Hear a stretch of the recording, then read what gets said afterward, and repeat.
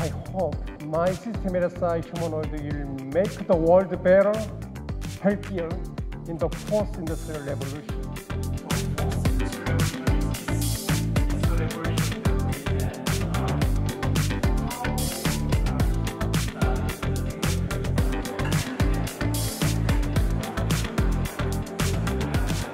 사차 산업혁명은 사람이 하던 판단과 지시를 이 반도체와 기계가 하게 됩니다.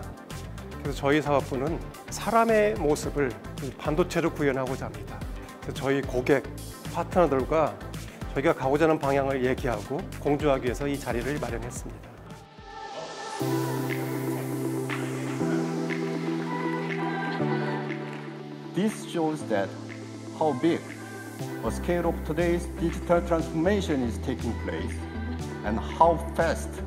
Memory demand is growing as a result.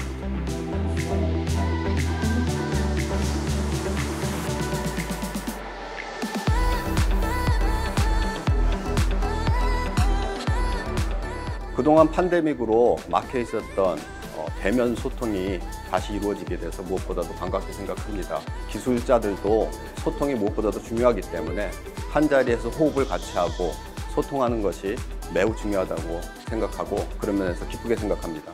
업계 리더로서 삼성 메모리 사업부가 준비해온 제품과 로드맵 그리고 미래 전략을 우리 고객 파트너들과 같이 공유하는 것이라고 생각합니다.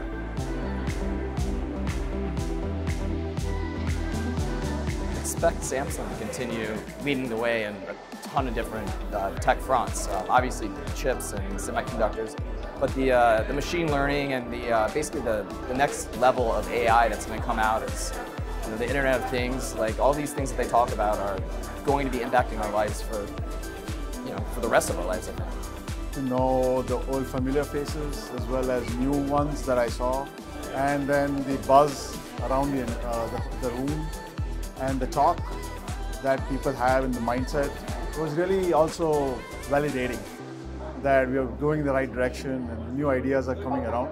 So super excited to kind of come back.